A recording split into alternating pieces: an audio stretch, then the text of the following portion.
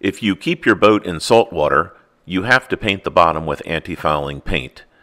This is a special paint that has copper in it that prevents barnacles and marine growth from attaching to the underside and causing problems as well as slowing down your boat. We suspect that the boat had been kept in salt water most of its life, so the bottom had been painted, although we don't know for sure how long it's been painted. Since we keep it on a trailer at home, I wanted to remove the stripe of anti-fouling paint off the side to see if I could make it look a little bit nicer. I chose to use a chemical stripper to remove the paint rather than sand it all down or media blast it. This particular brand seems to work really well, and it was inexpensive, and it's supposed to be safe. Whenever dealing with any type of stripper, always glove up and use eye protection.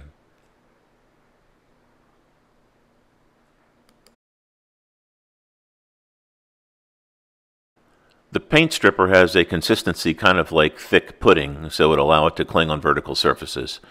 You want to brush it on pretty thickly so it can do its job, and the directions say it can work anywhere from a half an hour to 24 hours.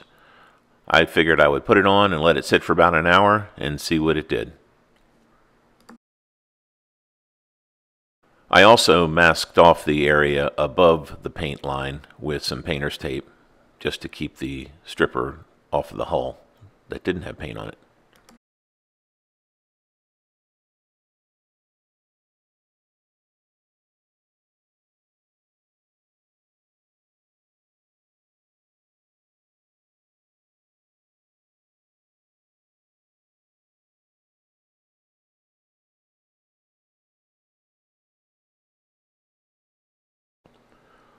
I also applied it to the transom area to remove the paint that was back by the outdrive.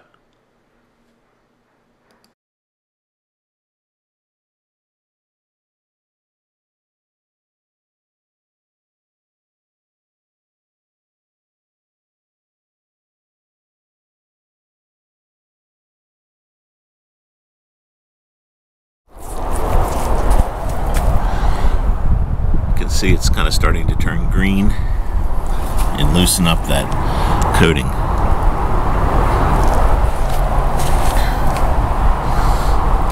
That's only been on for about 10 minutes, so we'll let it do its job and check back in a little bit. It's been sitting for about an hour. Let's see how this does.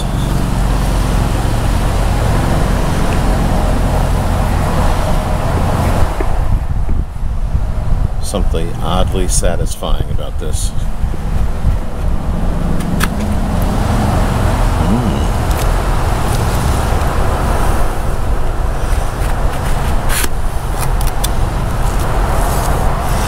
Definitely got off the top layer. Make it much easier to sand. Look at that. It's so satisfying. I slowed it down for your enjoyment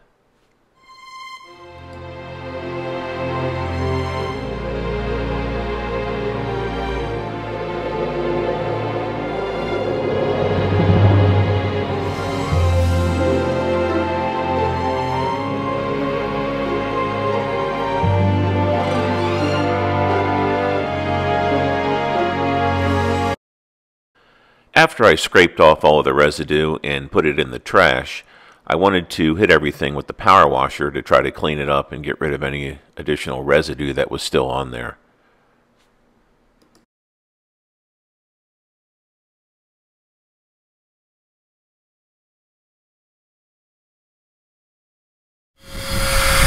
I used 100 grit sandpaper and then I hooked everything up to my shop vac so I could remove whatever residue that I could.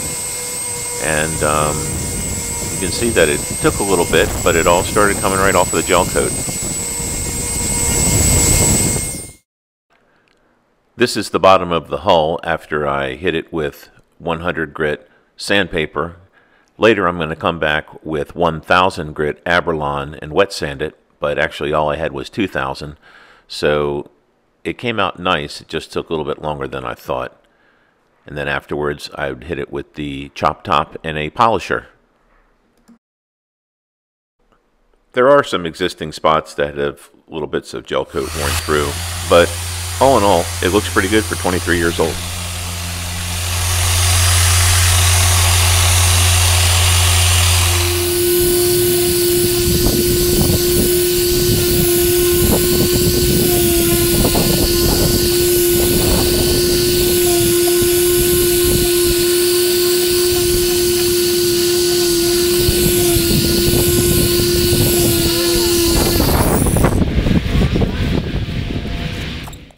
After everything was sanded off with the 2000 grit Abralon, I wiped it down and then I was going to do a test spot with some chop top fast cut compound and my wool polishing bonnet. And I did that little area in the back there and you can see the shine came right up. So now I just have to do the rest of the boat and that's going to take a while.